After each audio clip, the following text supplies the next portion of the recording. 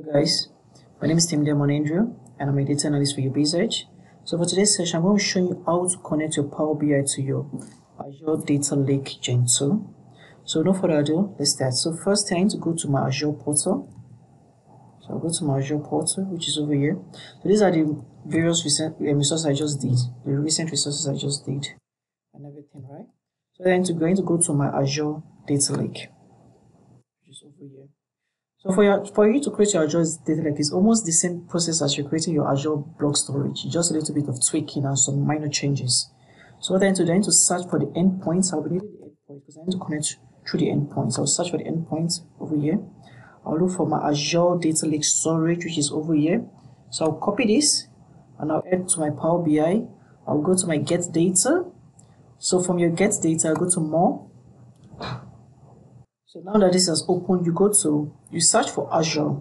So it's going to give all the Azure resources in your Power BI. So you can have my Azure SQL data, I have my Azure Synapse Analytics and the rest. But I'm looking for Azure Data Lake Gen 2. So I have the Gen 1, also have the Gen 2. So I'm using Gen 2. Um, I'll click on connect, okay. It'll take a little bit of minutes. So it has connected. So it's asking for the URL. That was the URL I copied for the, from the endpoint the time. So I'll paste it inside here. So you can you can do you can view the data in two ways. You can do data view either by file system view, also by CDM folder view. This is actually a beta version, so it's still under development, but it's also awesome. So you can click on OK. Data lake, right? So this time around, I will search for key. So I'll look for key. You can see access key over here. Click on my access key. You can see the access key. I can just click on show, copy, right back here because it's still under my storage name, right? So I'll go back to my my Power BI. I'll paste the access key inside here. I'll click on connect, and voila, so it is it is connected. So now I can see why is it showing me this. I, I basically have four different files in my Azure Data Lake. So I'll just click on transform. So I want to just transform. I'll carry through the Power Query Editor environment. So I have these four binary files, right? So what is what actually happened is let me go show you my Azure portal, right? So I go back to my storage, my browser storage. I go to my blob container. I see my raw file. So you can see I have two folders, right? You see two folders now. So I have the ECDC folder, which is the and different folders. I also have, if I go back, I also have the population folder. So for this, I want to use the population folder a text file. The other, the other ones are um, CSV, that's comma separated values. So I'll go back here. So I can just remove the first three rows. I'll go to remove rows, top rows. So I want to remove the first three rows.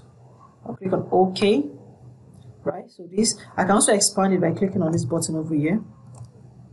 Right, so this is just to expand it further. I can click on the binary if anyone prefers using. Awesome. Now you can see now this has opened, right? So you can see this just give you a preview of the data. I can see the um the delimiter is a tab. That's tab separated, the file origin, the data type. So I just click on OK, right? So it's going to do some data transformation step for me. Voila. So what I need to do now is very, very easy.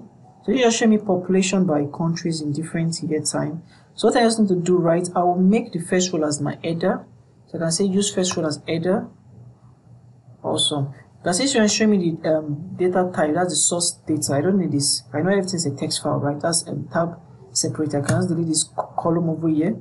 So this is all of this, right? You can also unpivot this, right? You can select 20, 2008 and I'll go to the last one which is 2019. Right click on pivot column. I can name this as yes. Yes, and let's say population value. Values. And can we name the query as population? And I can just do what close and apply. And that's all. Just simple it is. So I'll just come back here again. So it's loading. Awesome. So it has loaded right? So if I come here now I can check the data. I can go to the data tab over here. I can just check the data here. You can see now well I have the um so I have the geography time, I have the year, and also the population values, right?